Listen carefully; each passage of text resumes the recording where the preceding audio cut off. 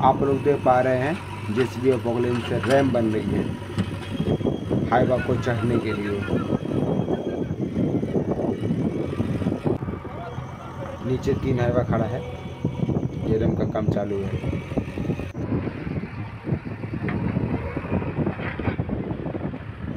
आगे सामने वाली बिल्डिंग में डंप होगा। जेसीबी से हो गया, और पोकलेन जो से अच्छा कर रहा है, ताकि हाईवा गाड़ी ये बड़ी वाली ऊपर चढ़ जाए। और अभी ये चैनिंग कर रहा है, उसके ऊपर दब रहा है, ताकि हाईवा आसानी से ऊपर तक तक चढ़ जाए। भाई स्टार्ट हो गया अपना।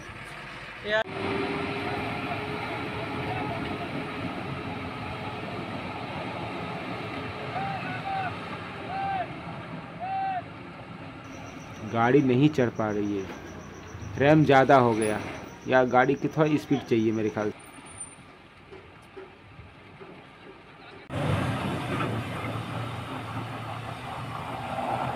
नहीं नहीं, रैम ज़्यादा है इसके लिए गाड़ी चढ़ नहीं पा रही है। इसे और थोड़ा सा सुलभ देना पड़ेगा।